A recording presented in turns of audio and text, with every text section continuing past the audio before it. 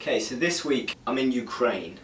I'm here for nine days with the 3RUN guys and we're shooting a new promo for the Euro 2012 competition coming up. So we'll be out most days, all day, every day. Um, we're shooting in forests, uh, in Kiev in the city centre.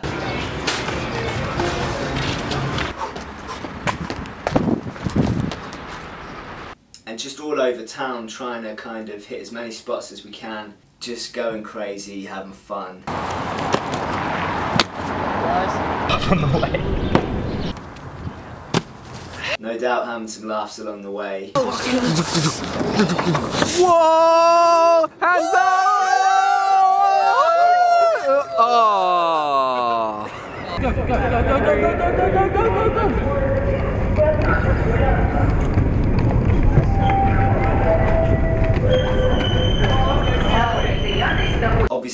evenings I'm trying to keep on top of all my stretching. With regards to the YouTube comments, please keep them coming. I'm trying to take on board everything that you guys have been saying. All the advice, all the tips and things like that. I'm taking it all on board. So thanks for them, keep them coming. Yeah, as we know, the ultimate goal uh, to get these splits. Without further ado, let's get to it.